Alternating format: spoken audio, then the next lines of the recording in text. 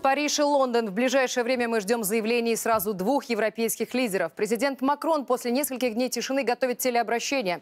Страну охватили массовые акции протеста, и в 10 вечера по Москве, как ожидается, Макрон представит список конкретных мер для преодоления кризиса. А буквально через несколько минут Тереза Мэй выступит в парламенте. По некоторой информации она может объявить о переносе намеченного на завтра голосования по соглашению о Брекзите. Ну, подробности у наших коллег в программе «Время покажет», и я передаю им слово.